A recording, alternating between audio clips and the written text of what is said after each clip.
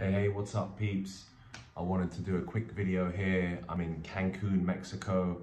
Obviously, I'm starting to dress like a Mexican, as you can see with my, with my classic Mexican hat, which I bought on Tulum Beach. I wanna make this video for those of you who feel like, you know, you're trapped in the UK or you're trapped in the country that you were born and raised in. Ultimately, the title of this video is Why I Left the UK. Um, I mean, ignore the background. At the moment, there isn't much going on. I'm in between homes. Um, when you first leave home, obviously it's difficult to kind of find your feet, to know exactly where you're supposed to be going. But at the same time, if, if you're not comfortable with uncertainty, then I don't recommend that you do this sort of traveling. I don't recommend that you leave your hometown. You know, if you're the type of person that needs to know exactly where you need to be, when, you know, you don't like any level of uncertainty, you don't like any adventure. If that's you, then this video is not for you, okay? So I would jump off this video if you're not the adventurous type and you don't want to kind of explore the world and widen your horizons, okay? So I would jump off the video if, if that's the kind of person you are. However, if you are the type of person who feels trapped in your hometown, who feels stuck, who doesn't really want to be there anymore, who's tired of the same old friends, who's like, you know, realizes that you need to leave the family house and, and venture away and leave the nest, as they call it. And this could be for any country. I mean, I was born and raised in London, as you might be able to hear from my accent. Um, doesn't matter what country you're born and raised in, to be honest. Home is home and your hometown is your hometown, no matter where that is, okay? It could be the best part of London, it could be the best part of New York, it could be the best part of LA. You know, I've been to these places fine, they're all beautiful, cool, but at the same time, your hometown is your hometown. It's where you were born, it's where you were raised, it's what you're super familiar with. So why did I leave the UK? Well, um, as for many other reasons as to why you guys would leave your hometown as well, I wanted to explore new horizons. You know, I mean, I've personally been traveling for about six, seven years now since I started a remote business, and since that went successfully well, I've been on the road um, for about six, seven years now. I left Google in 2015 and I've been traveling ever since. I've been traveling to all the places that I want to travel to, which is amazing. I feel extremely grateful. But ultimately, I left the UK because I wanted new experiences. I realized that, you know, the world is actually a small place. It really isn't as big as you think it is. And I didn't want to remain living in the family house. And also, I didn't even want to live in an apartment in London. First of all, London's crazy expensive. Um, that isn't the reason why I left. Luckily, I, I purchased a beautiful home in London, but I chose not to live there. And, you know, it's just, it's kind of same old, same old stuff being from London or that, that I know the city quite well. I, you know, I have my friends that I grew up with. I have my family who I absolutely love dearly. Don't get me wrong. I wasn't trying to escape um, anyone in particular, but I wanted to search for, you know, new horizons. I wanted to get out of my comfort zone. there's anything, there's any real number one reason why I left the UK, is to leave my comfort zone, okay? My life was too comfortable there. You know, I had my friends, my family, my mum would cook for me anytime I wanted. I could see my friends any evening and we were kind of up to the same old stuff, whether it be drinking or smoking weed or just hanging out and like, you know, playing bowling or cinema or watching movies and entertaining ourselves in any way, shape or form.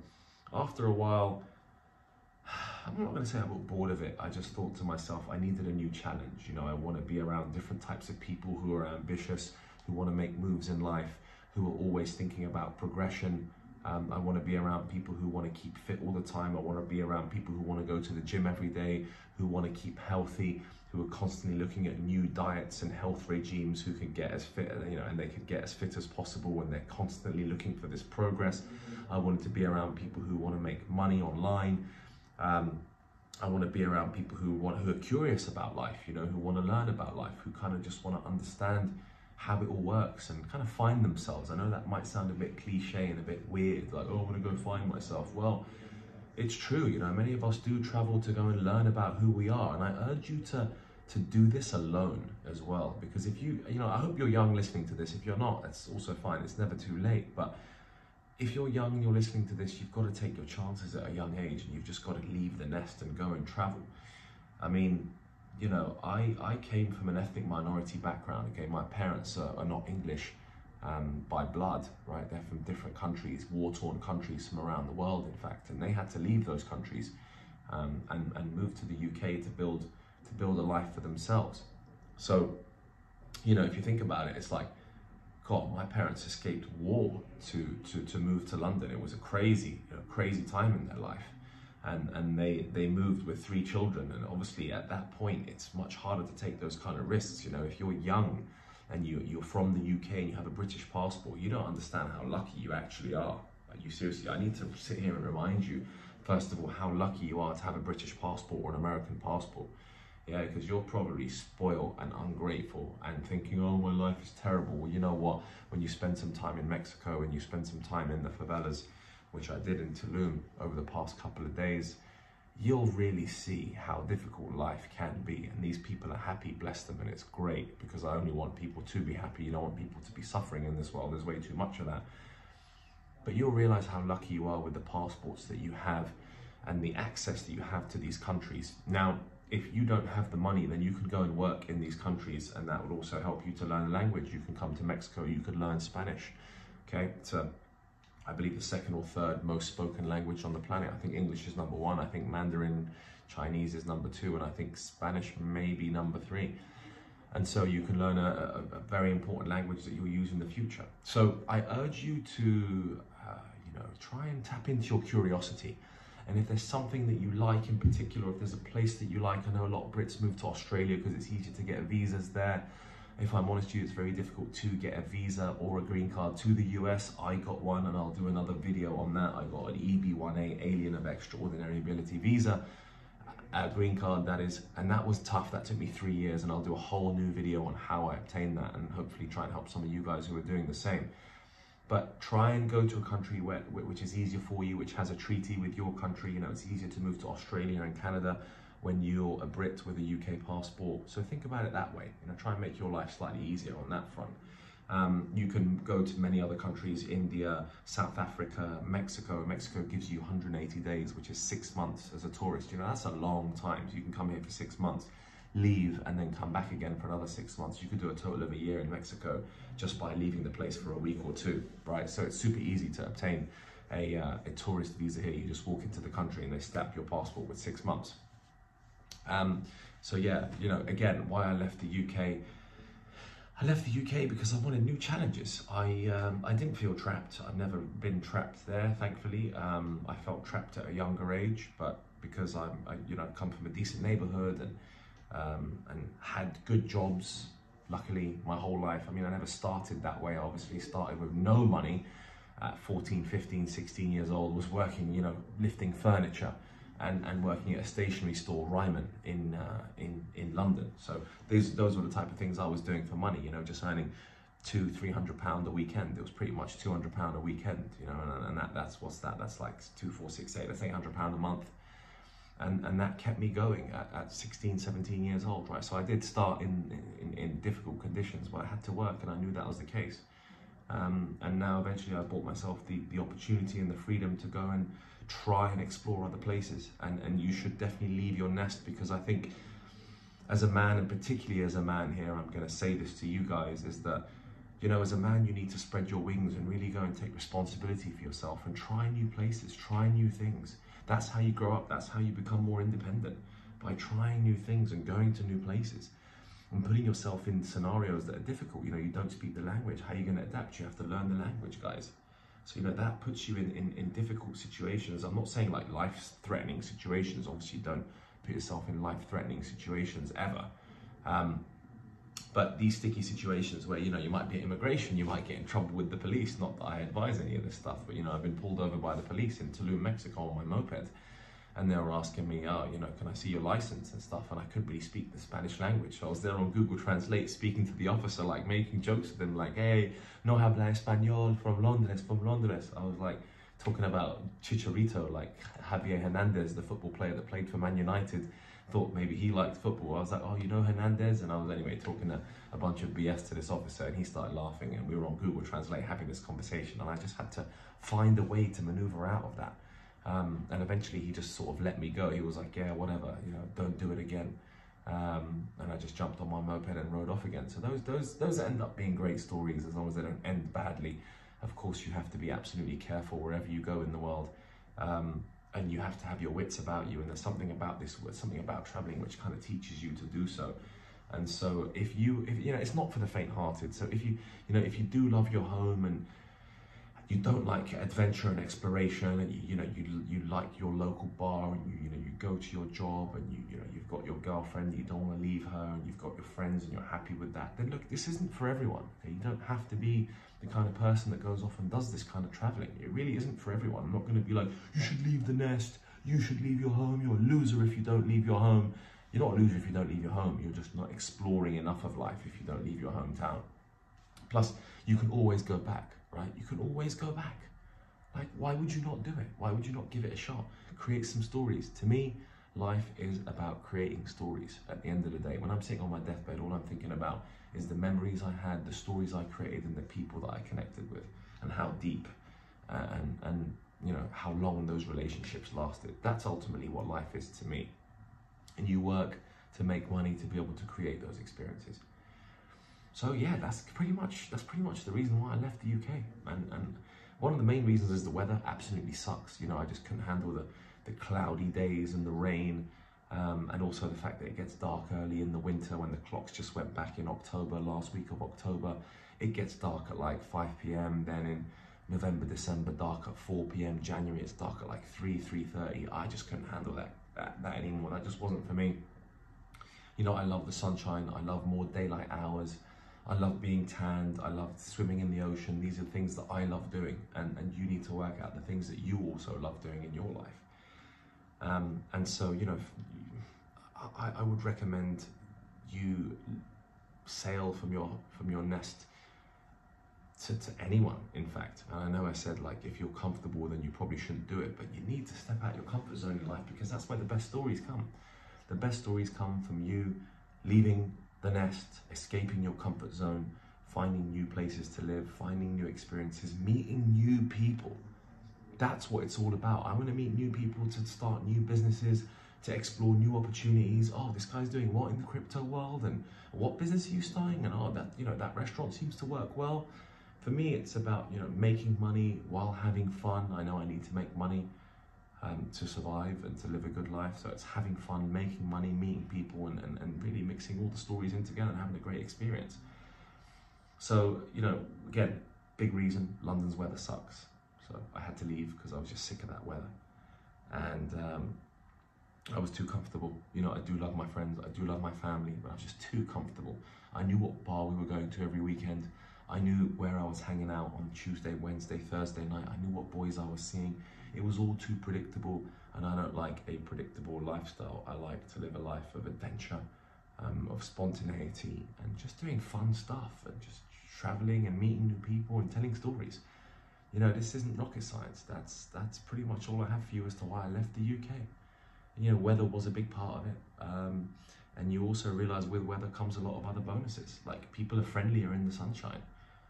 You know, on a grey, cloudy, cold day in London, people just don't want to talk to you. People don't want to talk to you on the tube, on the underground, when they're going to work. People don't want to talk to you. People want to talk to you when you get into the pub in the evening and you're having a few drinks.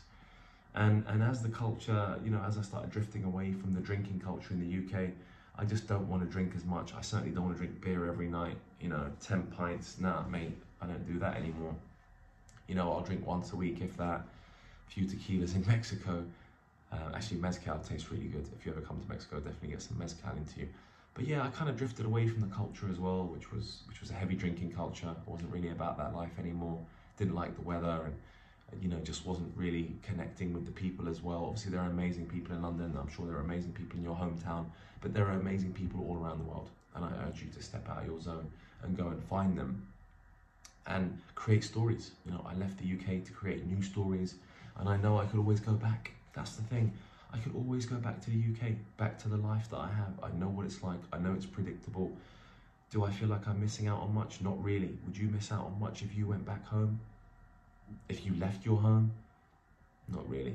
You probably wouldn't miss out. Look, unless you've got kids, I'm not being like, oh, leave your kids behind, because that's a bit of a different scenario, you know? But if you're young, you don't have kids, you know, I don't have a family I don't have a family of my own, And so it does make things easier. So it is your chance to, to leave the nest at a young age. Go explore the world. Um, if you're from the UK like I am, I stated the reasons why I left the UK. There are probably things you don't like about the UK. You can you can find other places around the world which are not as far as Mexico. You could go to Marbella in Spain. Beautiful weather in Marbella, Spain right now. You know, my friend messaged me today saying, mate, it's 12 degrees in London tomorrow and it's 26 degrees in Marbella. so go learn Spanish in Spain. Don't have to come all the way to Mexico. You know, it's a two hour flight for you. What I will say is because of Brexit, um, there are new new rules now for Brits. Unfortunately, our passport kind of doesn't have the same uh, power that it had beforehand. You can only spend 90 days in the Schengen area, and the Schengen area is basically 80% of European countries. Um, you can only spend 90 days in those countries, then you actually have to leave for 90 days until you can come back. So you can go somewhere, some, somewhere for three months. That's a great adventure to, you know, to, to discuss. Go live in Spain for three months leave before the 90th day, you know, leave on day 88, 87, give yourself some leeway, you don't want to keep it too tight. Back to the UK where I guarantee you things wouldn't have changed that much. Yeah, so most people I know that left the UK, that went to other places around the world, didn't even come back. You know, I know people that went to Dubai, Israel, New York, Australia. God, they went all over the place from the UK. And, um, and they don't regret it. And if they do, they just fly back home. It's as simple as that, you know. If you're not happy, you fly back home. So I don't think you've got much to lose. And I'm excited for my journey. I'm moving to Miami in about a couple of weeks' time. I'm just I'm just about to sign a lease on an apartment. I'm very excited to move to America. I mean, my requirements were a bit different. Everyone's got different requirements, right? You should probably think about what you want in this life before you start attempting to make moves. If you don't know, then go and explore and then work it out as you go along. But for me, I knew I needed, I wanted an English speaking country. I wanted a hot country and I also wanted a strong economy where I could, you know, if shit completely hits the fan, I can get a high end job and get paid well. And so, you know, what fits the bill when those three play, what fits the bill there? It was either California, Florida, Texas, or Australia. And um, I didn't want to move to Australia because I don't think it's a flourishing economy compared to the US. So really it was Miami, Texas or California. And I picked Miami because I went and visited these places and I liked them and there are things I like about Miami compared to LA for example. Miami's smaller, it's easier to get around. So those, as you can see, you can, you can kind of see I like broke down my requirements in order to choose this path in life. Um, and yeah, I'm actually absolutely buzzing to go and start my life in Miami in the US. So that's my story. That's why I left the UK. I hope you've drawn some inspiration from this. I'm sorry that the background of this video isn't as exciting as it should be. I've just got my Hawaiian shirt up there and, you know, a couple of, just put my life into two suitcases and I left the UK. Literally two big suitcases, a small suitcase and a rucksack, packed it all in there and just left the country. You know, don't take any furniture, don't need any boxes delivered. You just grab your clothes and you go, you find an apartment and you start your new life. And it's not for the faint hearted. And you do have to be brave and you do have to be willing to network and meet people and get out there in the world and face the big bad world. And you'll have so many amazing experiences as I've had over the past six, seven years traveling. But ultimately now I've chosen to permanently leave the UK and permanently relocate. Um, and I'm sort of mid 30s in a month's time. So, you know, I haven't exactly, I'm, I'm, not spring chicken, as they call it. So uh, I've chosen to do it now. It's just never too late, guys. Honestly, you want to take the plunge, go for it. Obviously, make sure it's a calculated plunge. Don't just buy a ticket and leave and not have anything planned. Certainly plan your apartment, plan the kind of places you've always wanted to see in your life, plan the things you want to take with you, plan your finances. That's the most important part. You don't want to be broke living in, going from hostel to hostel with no income you want to go to these places and find a job and work or work remotely, whatever skills you might have. You might want to offer your skills on freelance.com. You know, be a freelancer. A lot of people you meet are in, I was in Playa del Carmen in Mexico today, a few hours ago now, I'm back in Cancun, but a lot of people you meet in the coffee shop are designers. They run Facebook ads, they're Facebook ad specialists, they're copywriters, they're illustrators. People have all sorts of skills, and if you don't have any of these skills, fine. Then, then you can go and pick yourself a pick up a job and start, you know, start as a barman, work at a bar in uh, abroad somewhere. Great experience, great learning. You'll meet loads of people and you'll tell the best stories. Yeah, so that's why I left the UK, guys. I left the UK in search of a different life. As I said to you, it was whether it was the drinking culture, it was the requirements that I had in terms of I wanted the hot country, I wanted the booming economy.